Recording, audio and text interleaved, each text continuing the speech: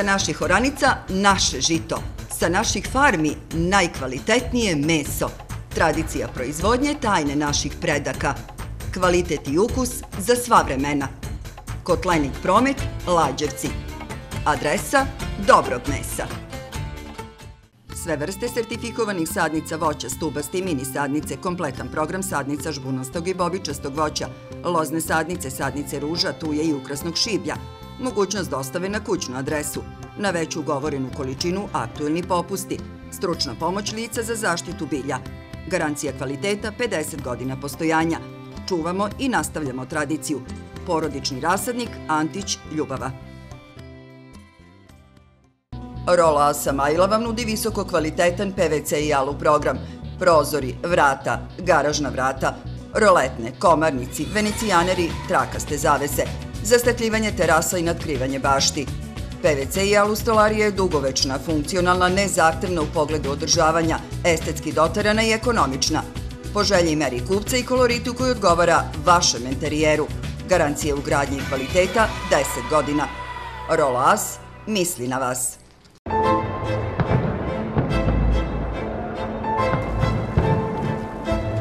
U poslednje tri godine 52 osobe su povređene pirotehničkim sredstvima. Od 52 povređenih, 27 su bila deca ili maloletna lica.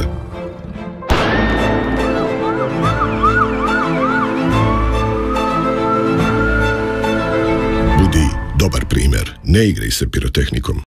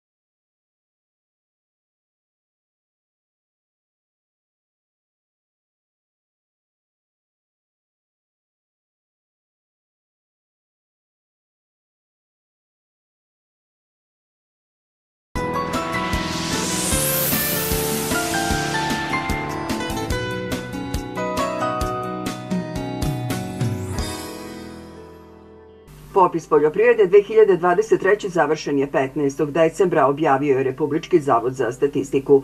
U realizaciji popisa od 1. oktobra do 15. decembra bilo je angažovano 253 oštinska koordinatora i 2842 popisivača. Popis je obuhvatio oko 742.000 poljoprivrednih gazdinstava, porodična poljoprivredna gazdinstva, gazdinstva pravnih lica i preduzetnika.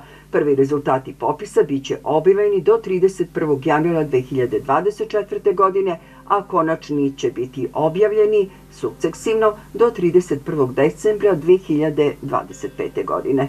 Pre 15 godina u Srbiji je bilo ribnjaka na oko 12.500 hektara. Danas ova proizvodnja zauzima oko 5.500 hektara, količina ribe koja se proizvede u našoj zemlji drastično je opala.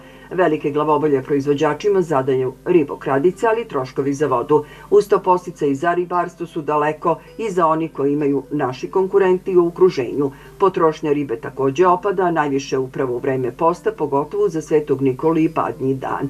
Mnogi ribnjaci nisu uspeli da prežive koronu i namete države. Od desetak velikih šaranskih ribnjaka koji su postojali pre decinu i po, danas samo tri posluju u punom kapacitetu. Prema rezultatima za Srbiju, potrošači u našoj zemlji se prilikom kupovine hrane najviše vode kriterijumom cene, na drugom mesto je ukusa, na trećem poreklo hrane, na četvrtom sadržaj hranjivih sastojaka. Domaći potrošači najmanje vode računa o uticaju hrane na životnu sredinu i etičkim aspektima njene proizvodnje. Protekle nedelje kukuruzom se trgovalo u cenovnom rasponu od 17,50 do 18,50 dinara po kilogramu bez PDV-a. Ponder cena bila je 17,90. Pšenicom se trgovalo u cenovnom rasponu od 21,50 do 24 dinara po kilogramu bez PDV-a dok je ponder cena iznosila 22,44 dinara. Zaključen je jedan berzanski ugovor za sojno zrno po ceni od 52,50 dinara po kilogramu, što ujedno predstavlja i ponder cenu.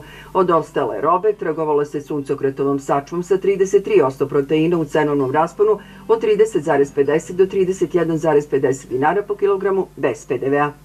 Godišnje se u Srbiji proizvede 50 miliona litara raznih vrsta rakije, međutim 30 miliona litara proizvedu registrovane destilerije, a ostalo domaćinstva za lične potrebe. Svi mogu iz svojih voćaka da oberu svoje voće, da od toga naprave rakiju i da to koriste za sobstvene potrebe.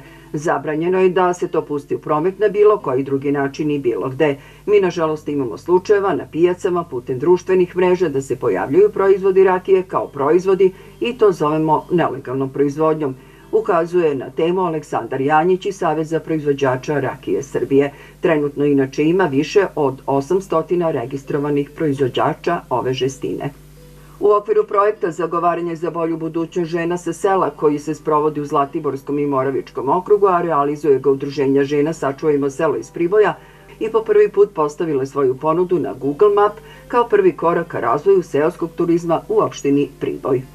Negativni spoljno-trgovinski saldo Srbije u prvih devet meseci tekuće godine kada je reč o poljoprivredi. Posledica je neadekvatne agrarne politike, niski subvencija, administrativnih mera zabrane izvoza, kao i stabilnog kursa dinara koji destimuliše izvoz smatra domaća stručna javnost. Za utorak 26. decembar zakazan je novi sastanak u Beogradu u Ministarstvu poljoprivrede kome će prisustovati poljoprivrednici iz cele Srbije, tačnije njihovi predstavnici i udruženja. Osnovni zahtevi poljoprivrednika su skidanje akcize sa goriva na svim putevima, uređenje robne berze, rešavanje problema sa robnim skladištima, podizanje subvencija po hektaru na 35.000 dinara, skidanje kamate sa dugovanja PIO fondu i odobravanje povoljnih kredita za poljoprivredu. Sadnja kakao uništava zaštićene šume u zapadnoj Africi, globalna trgovina čokoladno vredna više milijardi dolara na godišnjem nivou kao rezultat ima široko rasprostranjeno krčenje šuma u Nigeriji, obali Slonovače i Gani. Ako se nešto ne preduzme, do 2030. godine na obali Slonovače šume će nestati, upozoravaju stručnjaci.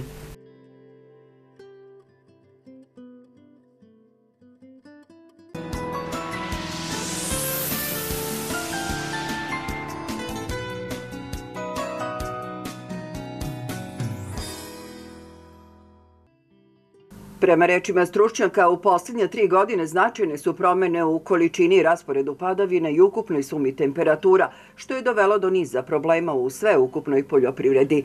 Da nam godina neće biti uspešna, znali smo sa prvim kasnim razvojima koje su podkrepili prekomerna količina padavina i gradonosni oblaci. Obilne padavine u kratkom vremenskom periodu Prvo utiču na nemogućnost provođenja operacija na parcelija na biljkama izazivaju oštećenja. S druge strane, period suvog vremena iznuruju biljke slabim kondiciju, blokiraju dostupnost mikro i makroelementima kao i njihovu pokretljivost. Sve u svemu godina koju treba pamtiti po lošim rezultatima.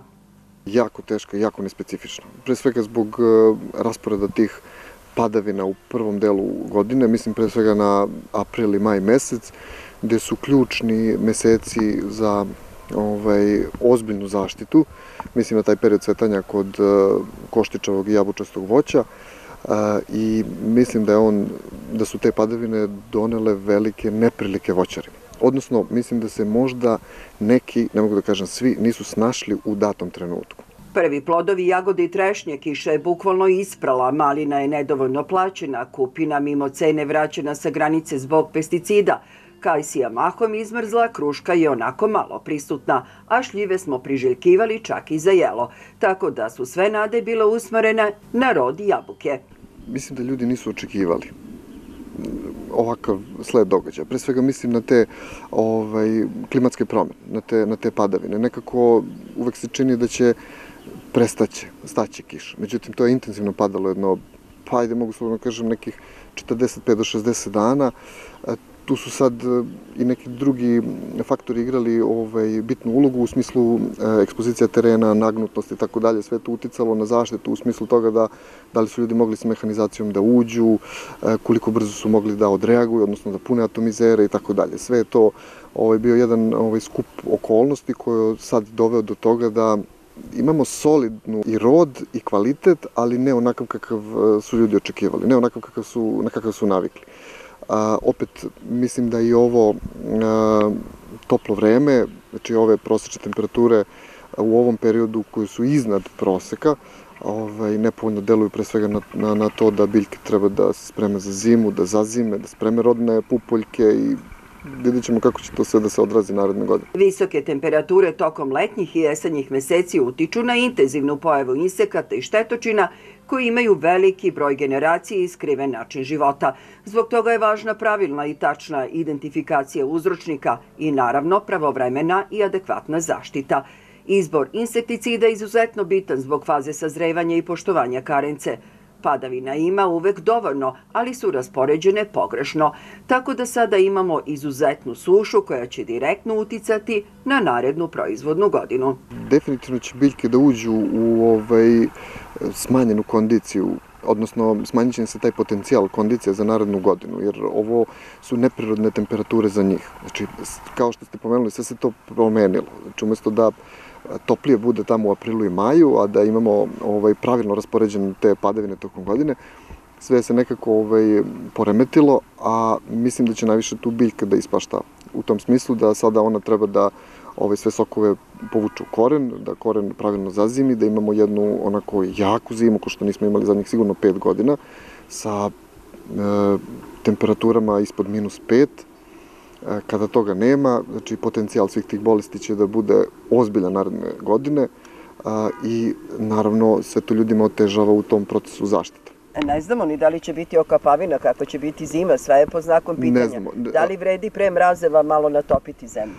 Nekako mislim da je možda bilo potrebno biljkama dati vodu, sad u ovom trenutku ne znam koliko im to znači. Sigurno da je to trebalo da se radi u septembru mesecu, ali opet ponavljam, ljudi verovatno nisu očekivali ovakvu sušu. Sve su mislili pašće kiša za 7 do 10 dana, pašće, međutim te prognoze su se menjali iz dana u dan, sve ono što se pogodi je na 3 dana i to je realno, sve na duži ovaj, period je nerealno pogađati, a opet mislim da ljudi nisu očekivali ovakav vreme. U zasadima u kojima nije primenjena savremena tehnologija i u kojima voćke nisu dobro zaštićene od prouzrokavača, bolesti i štetočina, postoje problemi, tako da je neophodno sada uraditi dobro kupanje stabala bakrom od vrha do korena.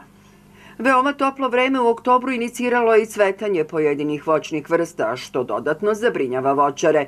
Proveravamo koliko će ova pojava uticati na rod u narednoj godini. To je ne tako redka pojava zadnjih pet godina. Mogu da kažem da je to značajnije kod koštičavog voća, kod jabučastog ne toliko, ali sve to utiče na smanjenu, ovaj, na smanjenu kondiciju biljke i, da kažem, smanjenu rodnost.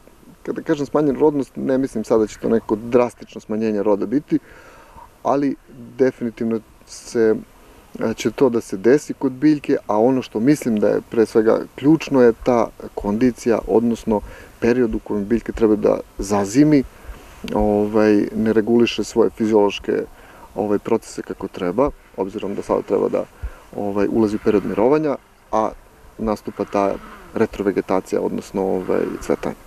Jako puno će da je crpi, obzirom da biljka sad zbog ovakvih temperatura koje su sad u ovom trenutku dobija signal da, da ne zaustavlja sokove, nego taj protok se nastavlja. A, treba je jedno 10 stepeni manja temperatura da bi ona dobila signal da, da je period zime, odnosno tog zimskog mirovanja, jako blizu. A, tu će glavnu ulogu, čini mi se, imati rezači. Mm.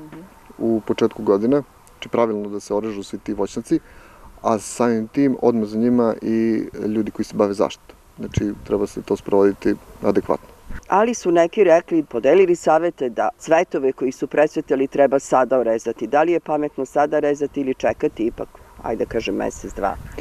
Totalnu fazu mirovanja. Ukoliko se ljudi odluče na takav ovaj, potez, mislim da je pametno odmah raditi zaštitu ovaj, bakarnim preparatima. Ovaj, a ako ne, onda se ostaviti to rezanje tamo u nekom periodu od januara, februara meseca, da vidimo na kraju krava da li će se desiti još ta zima koju toliko očekujemo. Dakle, i rod jabuke je umanjen ove godine u poređenju sa rekordnim prvenstveno zbog agroekoloških uslova, ali je prinos bolji u poređenju sa koštunjavim voćnim vrstama koje u nekim krajevima nisu ni rodile. Vremenski uslovi i svega navedenog imaju veliki uticaj na biljnu proizvodnju, a čini se da je voćarima ova godina bila nekako najteža. Pa da vi kažem, traktor sam kupio, sobstveno za svoje potrebe, za teže radove, mada je traktor što se tiče rada, znači jedan od boljih i za teške i za lakše poslove.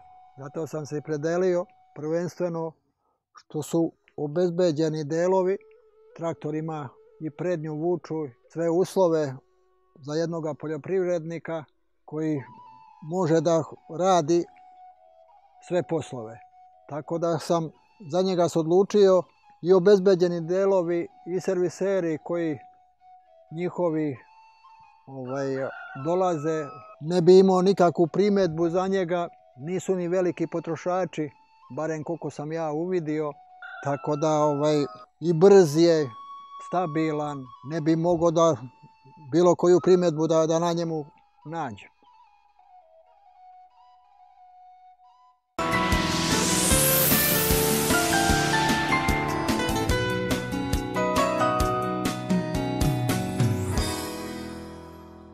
Vlada Republike Srbije donela je na predlog Ministarstva poljoprivrede zaključak po kome će Republička direkcija za robne rezerve izvršiti robnu razmenu sa primarnim proizvođačima do 36.000 tona mineralnog džubriva MPK za ratarske kulture.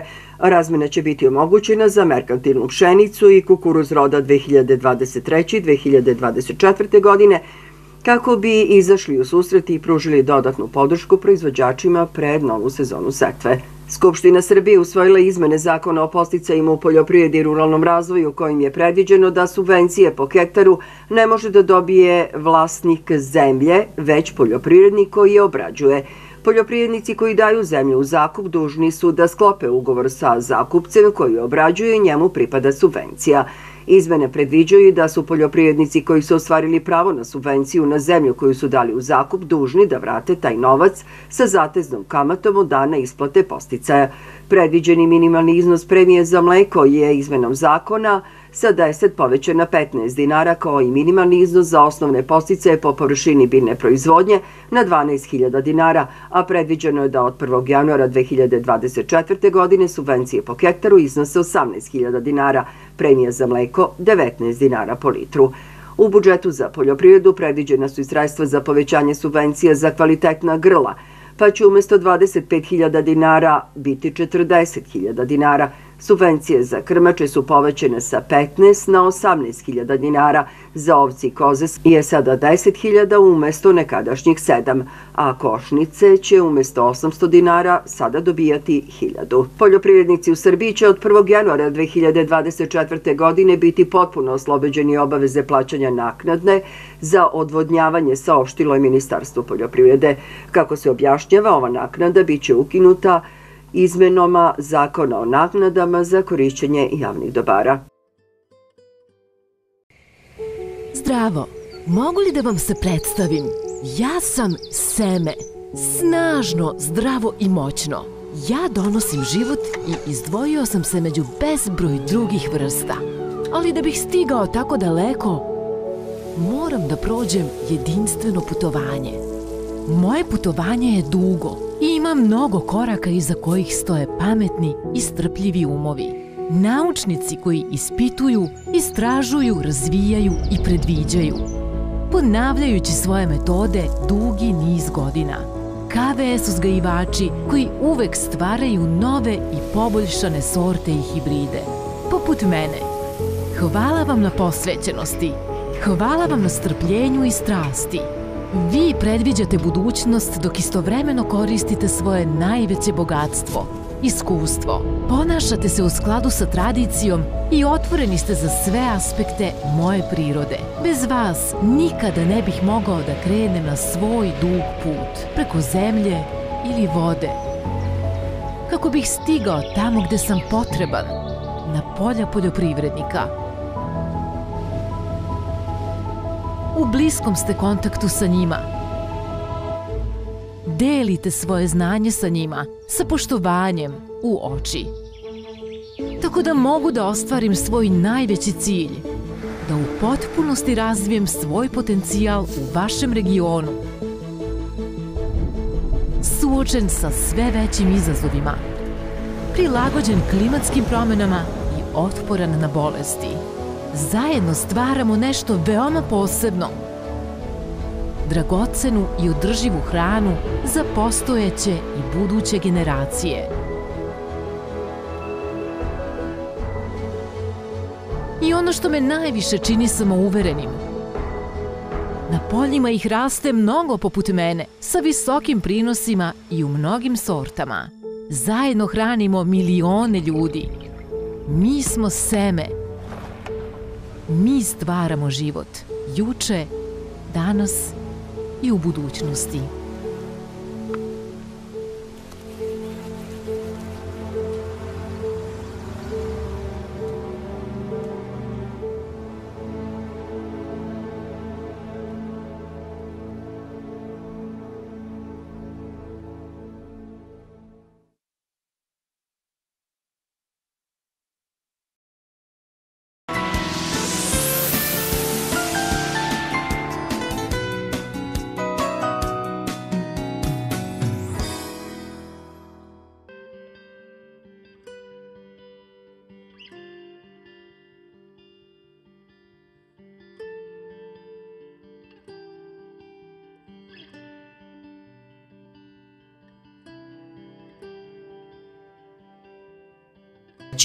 Nakon što se pojavila u nekim evropskim zemljama, ali i zemljama u okruženju, azijska mušica, koja je postojbi na daleki istok, naselila i voćnjake u Srbiji, najpre u kupinama, zatim na malinama polki, a nedavno i u vinogradima na jugu Srbije.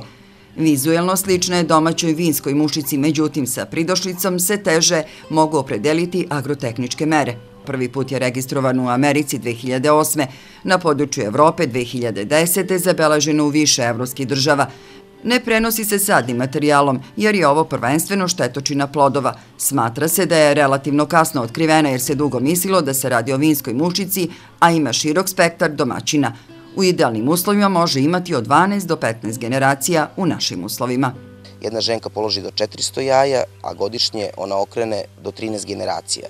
Jako velika populacija se vrlo brzo pravi. Treći jako veliki problem je što sve te njena štetna dejstva se dešavaju kada su zreli plodovi u toku berbe, kada mi ne smemo koristiti hemijska sredstva, ništa od hemijskih sredstava. Jaja, larve i lutke svoj razvoj razvijaju unutar ploda, te je nemoguće, nikakav tretman je nemoguće, znači možemo samo odraslog insekta i maga e, eventualno juriti. Kako u Srbiji nema registrovanih preparata protiv azijske mušice, stručnjaci preporučuju da se uzgajivači voća protiv ove štetočine koja postaje sve opasnija bore postavljanjem lovnih klopki napravljenih od plastičnih flaša sa izrezanim prorezima u koje se stavlja vino pomešano sa jabukovim sirćetom i nekoliko kapi deterđenta za sudove. Potrebno je vršiti redovnu fitosanitarnu kontrolu plodove i embalaže u kojoj se transportuje voće za izvoz i voće koje dolazi iz uvoza – Obavezna higijena ivica parcela u kojima se nalaze divlje kupine, zova i druge biljne vrste koje su domaćini ovoj štetočini.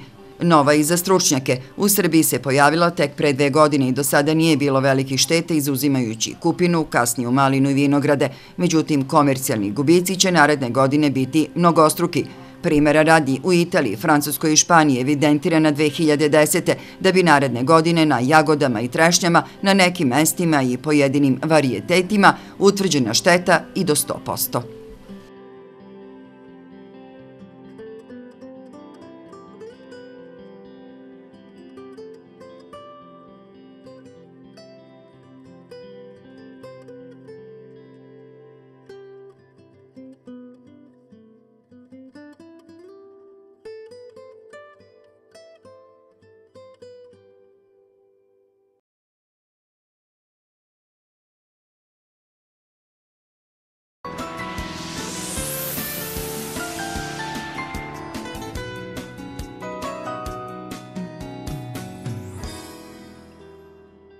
U Srbiji kruška rađa 10 do 14 tona po hektaru kod sistema guste sadnje i u sve agrotehničke mere. U Evropi se postižu prinosi koji su dva pa čak i tri puta veći. I nije samo prinos kočnica u proizvodnji, već i male površine pod ovom voćnom vrstom. U veoma lošoj poziciji. prosečna svetska proizvodnja kruške iznosi nekih 18 tona po hektaru. Srbija je otprilike na nekom nivou 10,5 tona po hektaru, što je jako nizak prinos. Ako se uporedimo sa zemljama koje imaju ozbiljnu proizvodnju kruške, mi smo četiri puta lošiji od njih. I to je poražavajuće. Razlozi su brojni. Kruška je cenjena radogajena voćna vrsta zbog velike upotrebne vrednosti plodova, a poslednjih decenija postojele su velike oscilacije u količini i kvalitetu plodova kruške iz više razloga – zastarela tehnologija, gajenja, šarenilo sortimenta, pojačan napad prouzrokovača, bakterijalne plamenjače, nestabilno tržište. Svi ti razlozi i tako nizak prinos su uglavnom delovali razočaravajuće na proizvođače kruške, tako da su površine značajno smanjene i mi danas imamo svega oko 5000 hektara u celoj Srbiji, što je jako, jako malo. A, kada je u pitanju cena, ne može se sa sigurnošću reći ni da je cena kruške niska. Ona je mnogo veća nego što je cena jabuke, ali je poražavajuće što su nam prinosi tako niski. Kako u Srbiji postoje povoljni prirodni uslovi, a na domaćem inostranom tržištu kruška je deficitarna, ali ipak od uslova tržišta i mogućnosti plasmana kruške zavise u velikoj meri i ekonomski rezultati. U Srbiji su, nažalost, uglavnom zastupljene letnje sorte krušaka – a kruška donosi veliku zaradu, ali zaradu koja je propraćena i mnogim problemima. Ukoliko je sačuvamo od kruškine buve, zbog koje mnogi ne gaje ovu voćku, posljednjih godina tu je i prolećni mraz koji može da opere rod. Možemo li bilo šta da promenimo od tehnologije pa do potrošnje na stolu? Jedan od najvećih problema je bio taj što nismo na adekvatan način primenili tehnologiju gajanja i što jednostavno nismo, nismo shvatili da može da se sličan prinos kao kod jabuke postigne kod kruške. I to je taj, kažem, glavni razlog zašto mi danas imamo tako nisku, nisku proizvodnju kruške. S jedne strane, s druge strane, mi na evropskom tržištu možete nismo prepoznati kao ozbiljni proizvođači kruške. S druge strane, kada je u pitanju domaća ovaj, potrošnja, ona je a, relativno niska. Najveće količine kruške koju mi proizvedemo jeste viljemovka i najviše viljemovke završi u preradu u rakiju. U našim marketima mi možemo posle berbe svega nekih dva meseca da nađemo domaću krušku, a danas se u marketima uglavnom nalazi kruška koja je uvezena iz Belgije, Holandije ili Nemačke. Jedna od e, ključnih stvari jeste pre svega izbor terena. A jabuka, za razliku od kruške, ima mnogo širi areal gajanja. Kruška ne može na svim terenima da uspeva gde može da se gaji jabuka. Znači, to moraju da budu tereni gde je mogućnost pojave jakih zimskih i prolećnih mrazeva drastično smanjena, s jedne strane, ali sa druge strane moramo obezbediti vodu za navodnjavanje, jer su njene potrebe slične kao i potrebe jabuke da bi postigli sličan ili nešto niži prinos. S druge strane, Mi smo, ovaj, e, prateći tehnologiju uzgoja jabuke, ušli u veoma gustu sadnju kruške koja se u našim uslovima pokazala kao jako loša, zato što e, su rezultati bili poražavajući i imali smo godine u pojedinim zasadima gde su zasadi ostajali potpuno bez roda. Jedan od glavnih problema jeste što je a, e, primenjivano takozvano e, sađenje jedne sorte u jednom zasadu i takvi zasadi su često ostajali nerodni. Kasne sorte kruške, iako su veoma ukusne, kod nas nisu mnogo zastupljene, jer se nisu prilagodile našim agroekološkim uslovima, ali se i sortiment kruške sporo menja. Primera radi, krašanka je stvorena 1855. godine, dok Viljemovka 1765. godine. Neverovatan je ipak podatak koji nam iznosi profesora Divojević sa puta u Južnoafričkoj republici. Južnoafričke republike i oni tamo ovaj, uglavnom kombinuju dve ili tri sorte u istu zasudu kako bi izvedeli dobro oprašivanje. Unose obavezno košnice sa pčelama i taj broj košnica po jednom hektaru je 4 do 5 puta veći nego kada je jabuka u pitanju kako bi postigli odgovarajuće oprašivanje. I zahvaljujući tim nekim detaljima u tehnologiji gajanja mi smo, da kažem, pravili propuste gde su se ljudi razočarali i jednostavno nisu postigli ono što su očekivali od kruške. Najbolji agroekološki uslovi za proizvodnju kruške kod nas je nadmorska visina od 450 metara, a to je reon Južnog Banata, Južnomoravski, Šumadija, okolina Leskovca, Merošine, Prokuplja. Poznato je da je najkvalitetnija kruška u nekadašnjoj Jugoslaviji dolazila iz poričija Vučje sa nadmorske visine od 250 do 350 metara. Kruška je postala još u doba praistorije što potvrđuju arheološki podaci – Uzgajali su je jeli stari rimljani, svežu i kuvanu. Gaji se u Kini, u Evropi se uzgaja od Kaspijskog mora pa do obala Atlantika. Kako god pričamo o jednom veoma ukusnom i hraljivom voću koji izaziva najmanje alergija, te su pasirane kruške najčešći prvi čvrst obrok za bebe. Kora ploda kruške bogata je biljnim vlaknima koje su jako važna za metabolizam, imaju malo kalorija i vrlo je požena dijetalna namirnica – Čak i ako imate motiva, motiv je najčešće zarada, pri zasnivanju zasada neophodno izvršiti sveobuhvatnu analizu agroekonomskih uslova od kojih zavisi izbor sortimenta i veličina zasada pa do troškova podizanja istih. Nauka i praksa moraju zajedno, a zemlja na kraju određuje šta joj prija.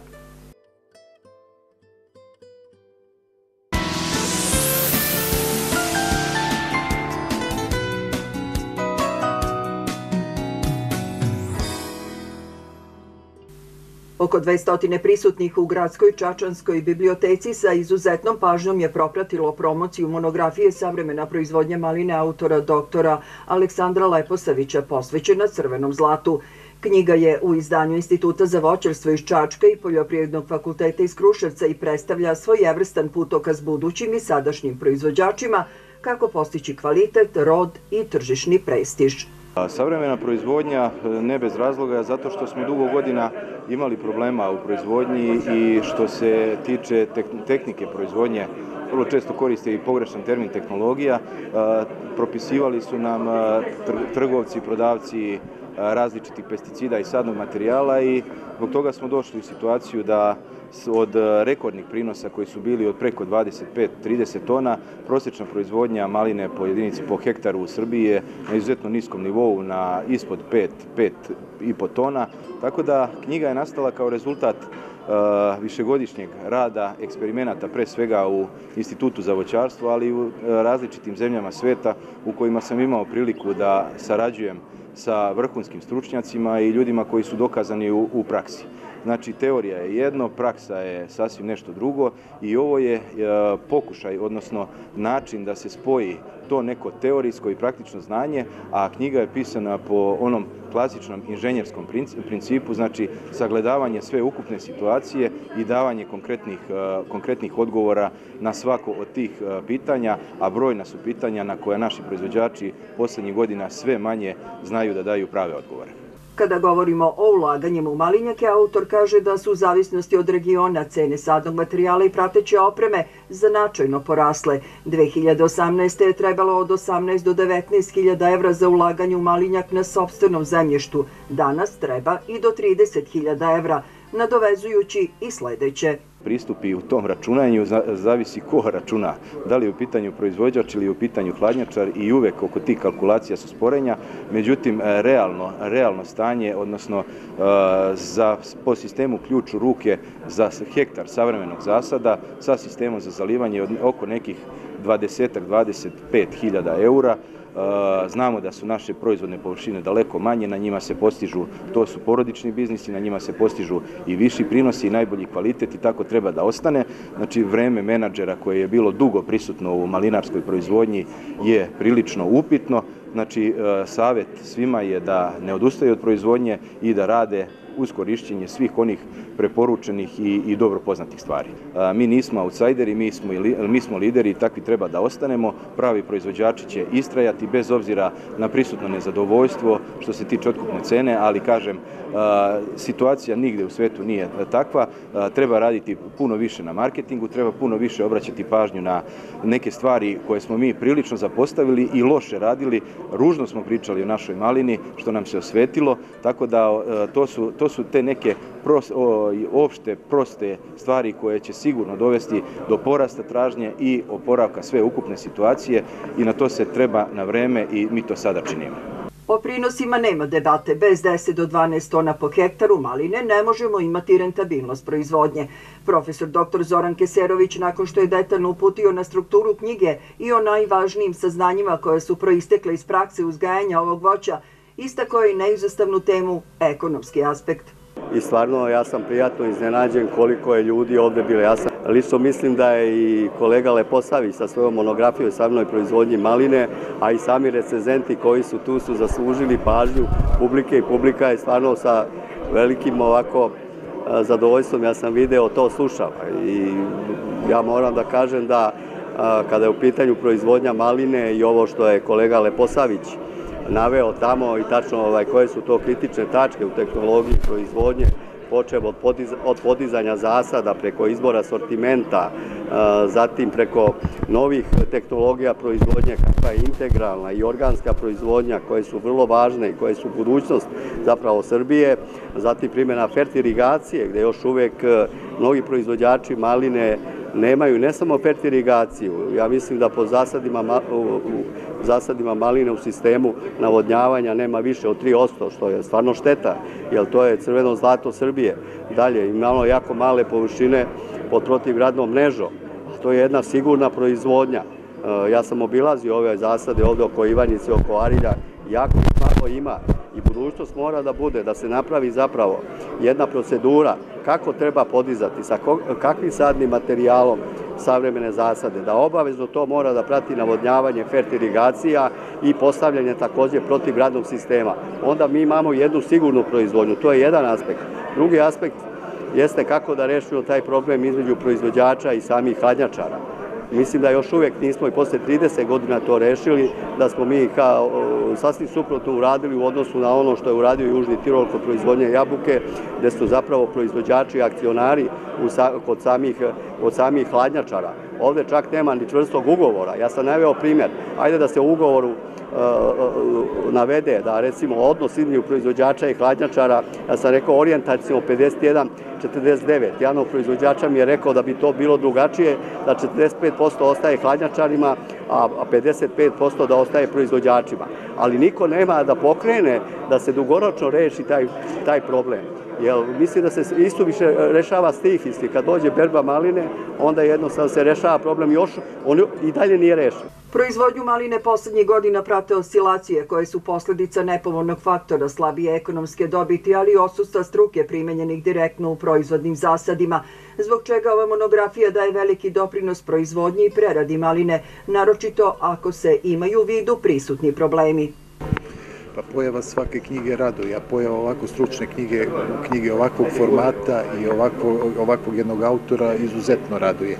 Ja sam sve vreme na promociji u Arilju, kada je bila promocija prethodne knjige vezane za, za Malinu, rekao da je knjiga o malini koju je dr. Leposavić napisao tada zajedno sa profesorom Svetom Petrovićem, nešto što bi svako domaćinstvo u zapadnoj Srbiji trebalo da ima, nešto slično o knjizi Lečenje biljem Jovana Tucakova ili narodnom lekaru Vase Pelagića. Dakle, jedna knjiga koja obuhvata sva znanja koja se tiču proizvodnje, gajenja maline, što je izuzetno značajna kultura za zapadnu Srbiju i uopšte za celu Srbiju s obzirom na najviše novca naše zemlje ostvaruju na izvoz upravo od te, od te maline.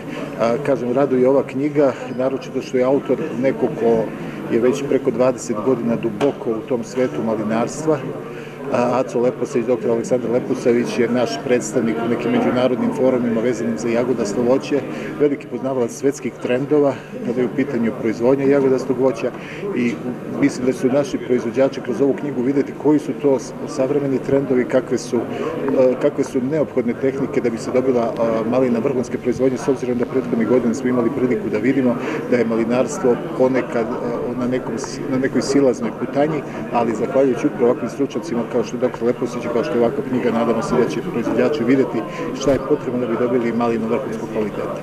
Malinu kroz monografiju pratimo u svim fazama od predračuna podizanja zasada, kalendaru radova u Malinjaku, privrednom i zdravstvenom značaju ovog voća, kao i mogućnosti prerade i dobrog marketinga. Promociju su pratili i proizvođači maline koji imaju plodnu saradnju sa doktorom Leposavićem. Malinarstvo zahteva e, dosta ručnog rada i to je nešto što malinarstvo pretvara u jedan teži deo voćarske proizvodnje. E, ono što zahteva dosta učešća, veliko učešće radnje snage, to i stvara veliku, e, višu cenu, višu cenu proizvodnje.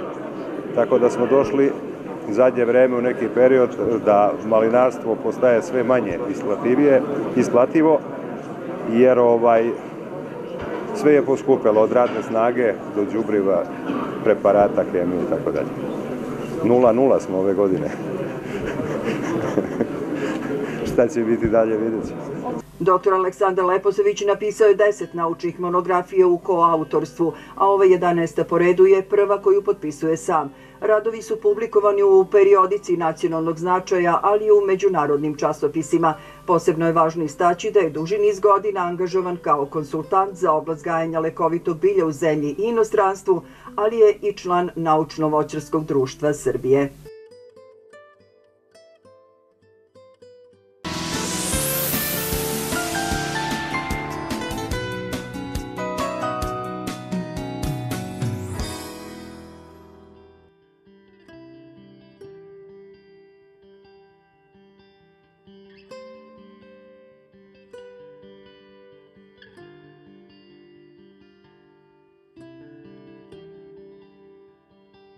Svakako da poslednjih godina ono što jeste negde primetno da agrodronovi su sve zastupljeni, da interesovanje vlada i negde iz sajma u sajam, a i uopšte ovako na, na raznoraznim manifestacijama ili kod mladih poljoprivrednika na imanju, oni žele te nove tehnologije. Žele nešto brzo, žele sofisticiranu tehnologiju koja će im olakšati posao i na kraju krajeva i pojeftiniti i izbeći radne snage koje nema. Pa da, jeste upravo kao što ste rekli, znači razvoj tehnologije je nešto što je nepobitno, razvoj tehnologije primjene dronova u poljoprivredi kreće se u više smerova, ali kada govorimo o zaštiti useva, aktualna je treća generacija dronova koja je u sebe inkorporirala različite rešenja, od onih hardverskih koji se tiču primene savremenih rešenja iz oblasti robotike, preko softverskih rešenja u u, za primjenu u poljoprivredi, tako da smo dobili suštinski opremu, odnosno mehanizaciju koja u velikom delu može da odgovori na sve izazove savremene poljoprivredne proizvodnje, a pre svega da nas pokrije u onim situacijama kada klasična mehanizacija nije u mogućnosti da obavi ono što je smisao ove mehanizacije, odnosno to su tretmani u zaštiti useva i zasada od bolesti, štetočina, suzbijanju korova. Znači u situacijama upravo kao što je ova godina, imamo proleće koje je izrazito kišovito, zemljišta su prevlažena, ne možemo ući u parcele da obavimo zaštitne mere, a svaka kašnjenje i svaki propust u zaštiti rezultira manjim prinosima, znači smanjenjem gubicima, a samim tim ugroženo je ono što je osnovno, a to je održivost poljoprivredne proizvodnje. Tako da, ova tehnologija donosi nešto novo, jednu novu vrednost, pogotovo što možemo u velikom delu obavljati tretmane koje se klasičnom zemaljskom mehanizacijom veoma teško možemo obaviti, odnosno možemo obaviti sa mehanizacijom koja je izrazito skupa. Možemo praviti poređenje ove mehanizacije sa tretmanima, to su prskalice sa visokim klirensom, kojih je u našoj zemlji veoma malo, iz prostog razloga što su veoma skupe i komplikovane logistički za upotrebu. Nasupro tome, ova tehnologija donosi krajnje jednostavan rad, ne zavisimo od zemljišnih uslova, veoma efikasno i veoma precizno mogu da se obavljaju tretmani koje do sada jednostavno nismo mogli da radimo. Ono što negde stoji, e, ove mašine nisu ni malo da kažemo mašine, ove, što negde to jeste, nisu ni malo jeftine, ali ono što možete e, kao predlagač eto da, da dodamo da možete raditi uslugu, može kupiti više njih dron, prosto pravimo neke mašinske prstenove, dakle sve dajete kao soluciju i mogućnost uspostavljanja te neke poslovne saradnje na terenu, naravno u Srbiji, a koliko sam čula da se širite na Balkanu. Pa jeste, da vam kažem nešto, ima tu samo jedna stvar koju treba istaći. Cenu mašina treba da posmatramo prema tome šta su te mašine u stanju da urade. Cena ovih dronova je daleko, daleko, mnogostruko ispod cene mašina sa visokim klirensom, a njihov učinak je veoma uporediv. Što se tiče kvaliteta samih tretmana, veoma su uporedive, znači maltene su potpuno identične po, po kvalitetu koje pružaju, a što se tiče cene, desetostruko su jeftinije od mašina visokog klirensa. Tako da cena i nije toliko visoka, uopšte nije visoka za ono što se dobija od mašinu. A što se tiče a, samih tretmana koji se pružaju i toga na koji način se poljoprivredni proizvođači organizuju, mi smo uvek za to da se poljoprivredni proizvođači udružuju. Ona situacija u kojoj mi na našem selu u svakom dvorištu imamo i kombajn, i traktor, i sejalicu, i prskalicu, to je potpuno nepotrebno. Jednostavno ljudi treba da se udružuju, da kupe potrebnu mehanizaciju kvalitetna, jer jednostavno današnje mašine su dovoljno efikasne da mogu, kako se to kaže u narodu, da pojedu svaku površinu. Po vašem nekom iskustvu i svega što radite poslednjih 4-5 godina, gde su dronovi najzastupljeniji u kojoj proizvodnji? Pa vidite, kao neko ko se poljoprivredom bavi dugi niz godina, u samom početku i ja i kolege moje, mi smo bili prilično oprezni i da kažem malo smo pipali, jel tako, daj da vidimo gde i na koji način se to primenjuje, na koji način možemo uopšte da primenimo tehnologiju. Pa smo krenuli od onih zaštitnih e, tretmana za koje znamo da sigurno funkcionišu, iz, e, koje smo dobili informacije iz sveta, od kolega iz sveta. To su tretmani recimo kukuruznog plamenca, zaštite kukuruznog plamenca, što je veliki problem u Srbiji, jer od milion hektara koliko se, na koliko se kukuruz proizvodi u Srbiji, 600.000 hektara kukuruza je svake godine ugruženo kukuruznim plamencem i štete koje trpimo od kukuruznog plamenca bile one 10%, 15% ili više, u svakom slučaju zbog samog obima proizvodnje kukuruza su zaista velike. I to je bila prva stvar koju smo radili, pa smo krenuli dalje oprezno da izvodimo niz ogleda, znači istraživanja smo radili, da vidimo na koji način se ova tehnologija može primeniti u, u realnim uslovima koje vladaju u poljoprivrednoj proizvodnji u Republici Srbiji. Probali smo sijase toga i u ratarstvu, i u voćarstvu, i u vinogradarstvu i a, ono što je interesantno, do sada nismo naišli ni na jedan problem ni na jedan tretman koji nam je pokazao bilo kakve manjkavosti.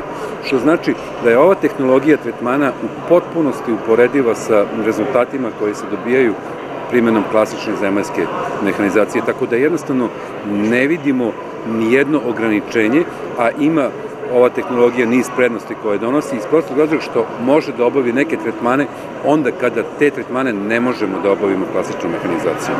Šta nismo pomenuli, a vredi reći? Potrebno je reći da ovo nije tehnologija budućnosti. Ovo je tehnologija koja je prisutna, koja je sazrela, koja je u punoj mori, meri promenljiva u poljoprivrednoj proizvodnji i jednostavno na nama je da u periodu ispred nas u narednih godinu, dve dana regulatorno rešimo primjenu dronova u poljoprivredi, odnosno u zaštiti useva, da uvedemo određene procedure, načine prijavljivanja, registracije i svega toga i jednostavno dođemo u situaciju da u punoj meri i u punoj snazi možemo da primenimo ovu tehnologiju, jer šira društvena korist je zaista velika.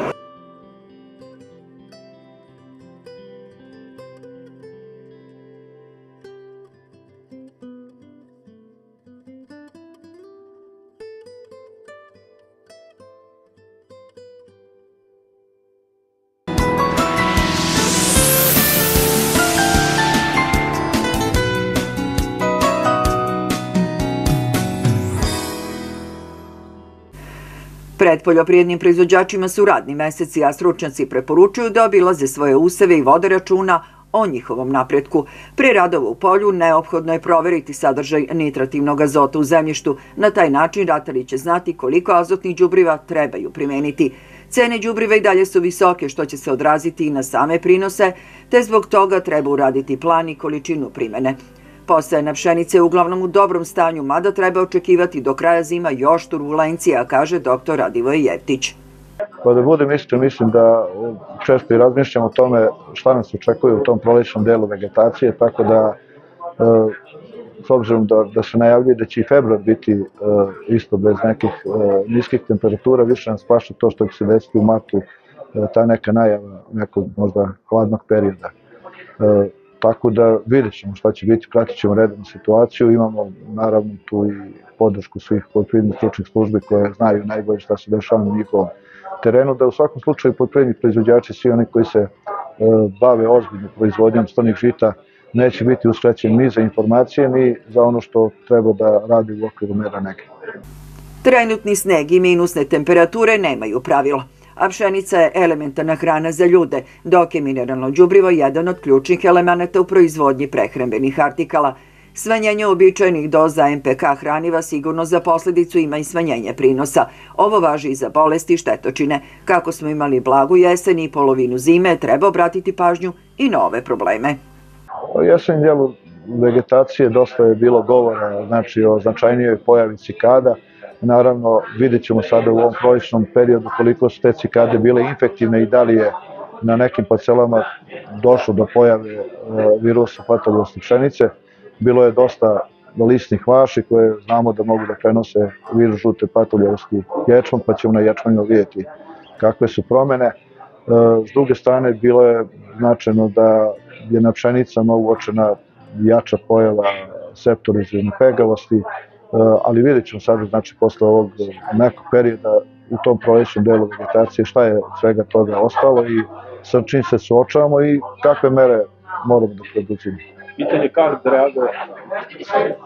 Pa to je običajno da ukoliko bude recimo i februar to pa onda ukoliko imamo jaču pojavu obligatnih parazita, već negde na tim najrazvijenijim usevima imamo takve informacije da se to dešava, vidjet ćemo onda da već krajem negde e, marta možda ukoliko bude potrebno e, vidimo koliko bi bilo smisleno da se rade ti neki tretmani što je bilo ili u prvoj dekadi aprila što je bilo možda ranije u odnosu na neke godine, ali vidjet ćemo znači, da to bude pravovremeno i da jer ti prvi tretmani koji, koji budu, oni će i odrediti možda dalji, dalji, dalji tok zaštite koji će biti. Jer činjenice ukoliko prođete, pođete sa nekim uh, najranijim tretmanima da onda to iziskuje možda u kasnijem periodu da imate jedan uh, tretman više. Tako da vidjet ćemo kako se razvija situacija i koje, koje ovaj, e, mere zaštite i koje na kraju aktivne materije i fungicide preporučiti, s obzirom da znamo da one imaju dosta, na žitima možda i nije toliko komplikovano, imaju dosta sličan uh, uh, taj neki spektar delovanja, Međutim, u svakom slučaju ćemo vidjeti šta je to što je najadekatnije. Pored izbora odgovarajuće sorte starnih žita, agrotehnika je jedan od glavnih faktora uspešne proizvodnje, jer ima ulogu da omogući nesmetani rast i razviće biljaka, kao i da umanji negativne utice klimatskih činilaca na njih. Do žetve prestoji period borbe za svako zrno koje će biti kvalitetnije i prinosno samo uz odgovarajuću negu. Nažalost, inputi proizvodnje i dalje diktiraju krajnji rezultat. Po onoj narodnoj, koliko para, toliko muzike.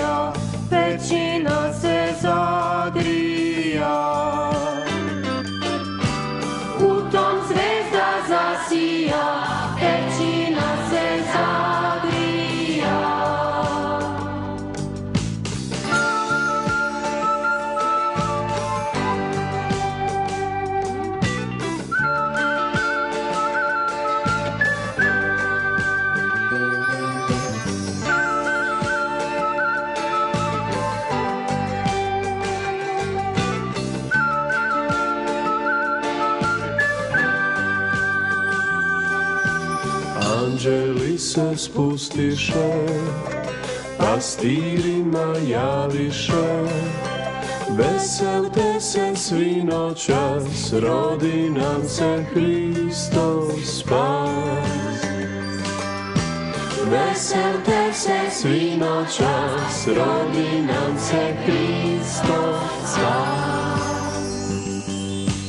Kad to čuli pastiri, Сърце им се умири, пак лекнуше свил глас, нек се слави Христос спас. Пак лекнуше свил глас, нек се слави Христос спас. Нек мир свуда царuje, нек се сърце радуе, nek se svako popravlja i gospoda proslavlja.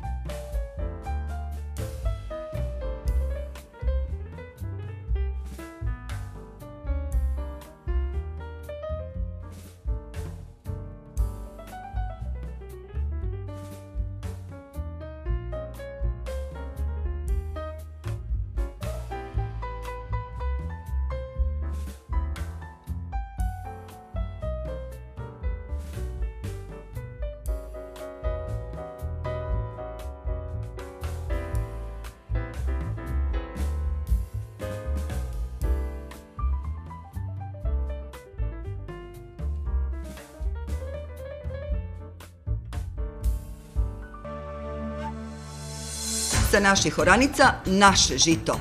Sa naših farmi najkvalitetnije meso. Tradicija proizvodnje tajne naših predaka. Kvalitet i ukus za sva vremena.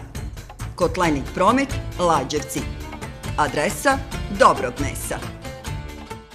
Sve vrste sertifikovanih sadnica voća, stubaste i mini sadnice, kompletan program sadnica žbunastog i bobičastog voća, lozne sadnice, sadnice ruža, tuje i ukrasnog šiblja, mogućnost dostave na kućnu adresu, na veću ugovorenu količinu aktuelni popusti, stručna pomoć lica za zaštitu bilja, garancija kvaliteta 50 godina postojanja, čuvamo i nastavljamo tradiciju, porodični rasadnik Antić Ljubava.